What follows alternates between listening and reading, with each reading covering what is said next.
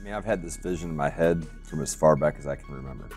Is all I've ever wanted to do is lift weights and train people. Now, as I became older, and to me it was even at a very, very young age, I started looking at trainers of athletes and teams hiring strength coaches. I was always just obsessed with it. So that's legitimately all I've ever wanted to do, was be a strength coach at some level. I'm a certified neuromuscular therapist. I think in terms of biomechanics. And that's how I think you should train, as, as you see from the loading patterns and the movement mechanics. That's how I think you should train. So I really developed a lot of that of training youth. Well, what I noticed is if you implement, I mean, obviously you can do a lot more intensified loading patterns with pros. Right. But the concept is the same. It's efficiency of motion.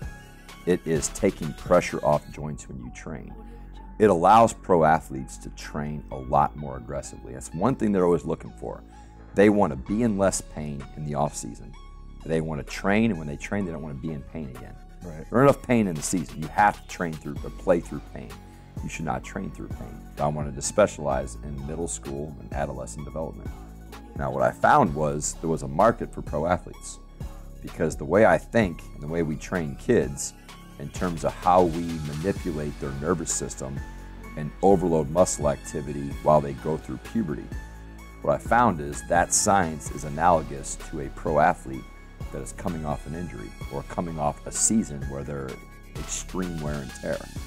The science is very similar. It's like almost like you teach a neural pattern to a kid, you reinforce it to an athlete. So athletes would get injured, rehab, train, or play a season, get wrecked, rehab, train. But you can complement that rehabilitation, realignment, regeneration phase tremendously if you go through very, very aggressive neural pattern training like you do with kids. So because I was trained in that, I found a huge market of people that were seeking me out because they thought that I could um, complement the rehabilitation so well, it would shorten it and enhance it. And we found that that, that was the case. Then in terms of devices, of course, I, you know, you have to have the basics you have to have a good mixture of machines and free weights. Your free weights have to have a rack that is multifaceted and can fit any athlete, any client at any time with any intention. Which is why I'm a big believer in Sorinex because it's so customized to every individual person because it gives all the directional forces that I want. Okay, and then you have to have good cardiovascular machine, some of it intense, some of it basic. All of it can be quantifiable.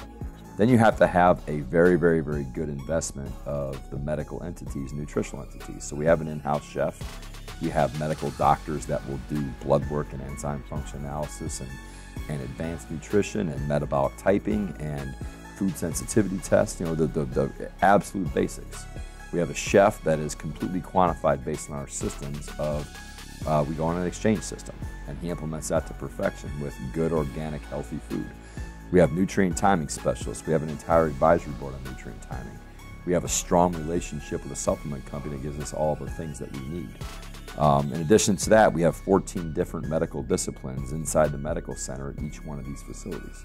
So you have to be well-rounded, and bottom line is you have to solve problems. That's it. We are solving problems. So a pro athlete comes in, they need a chiropractor, they need an acupuncturist, they need a physical therapist, they need a massage therapist, they need ART, MAT, they need uh, dry needling, they need blood flow restriction, they need the art machine, they need everything. So why force them to go find all the stuff when we've solved their problems for them? We brought the very best in every medical entity under one roof, so all I gotta do is walk through the door. But you have to invest in education. Everything's about education. We are, we are pushing the limits of this profession. I feel we are at the top at the very top of overall understanding of fundamentals of science and how to apply it. But there's always people that are going to be trying to catch up and catch up. We got to stay on top of our game. Just because we're at the top doesn't mean we're going to stay there forever. We have to constantly push the limits of the scientific application, redirecting the research. My goal is very simple. I want to leave a mark on this industry that's never been seen before. I want my name, this brand, and the professionalism that defines this brand to last through the ages. I mean, 100 years from now, we're still talking about the Bommarito system. It's still relevant. It's still going. We've passed this on to my son, and the management and the staffing just continues to grow. Long after I'm dead and gone, I want this brand to live. And is the system just the training? Or is it the entire thing? The entire thing. You know, how you educate people. What is the structure of how you educate people? How do you integrate into sports science? How do you integrate into university research?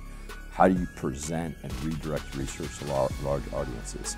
How do you mentor parents on the right way to sign their kids up for proper training? How do you train athletes? How do you train kids? How do you train people? What is that energy system development we just discussed for two hours for regular people? How are we legitimately long term going to drop healthcare costs by training and educating at an early state in terms of how you take care of your body? From a nutritional standpoint, a cardiovascular standpoint, a respiratory standpoint, and a musculoskeletal standpoint. I'm a firm believer people aren't lazy, they're undereducated with how to take care of their body.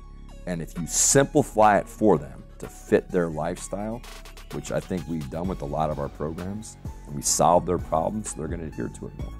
Always explaining and reviewing what we just did. That is the number one rule of this industry. Always explain what you did. You preview it, you do it, you review it. You have to constantly beat that down. Too many times, coaches and trainers, when they're when athletes are on rest, thank God, my brain can sleep. Your brain can't be asleep. Most people say it's exhausting to work here, not because of the physical demands, because your brain has to legitimately be on for 10 consecutive hours. Even when you're sitting down eating lunch and there's athlete after athlete coming through here, you got to be talking science. You have to be talking.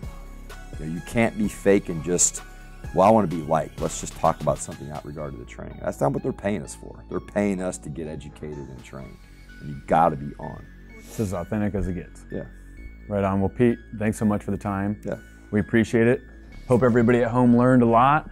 Yeah, and, for sure. Uh, we'll catch you next week.